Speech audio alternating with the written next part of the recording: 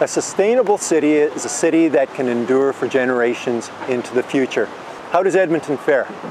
In the future, will we have enough water? Will we have enough food? Will we have energy? Will we have the clean air we need to preserve our well-being? Now, this is a really important set of questions that the community is discussing and developing a strategic plan called The Way We Green. That will continue throughout 2010.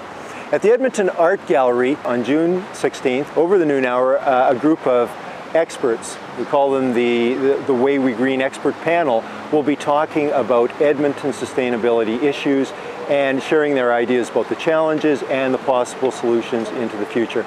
So the entire public is invited to come down. It's a free event over the noon hour. And if you can't be here live, there's uh, a good opportunity to see it live online or on our website um, thereafter.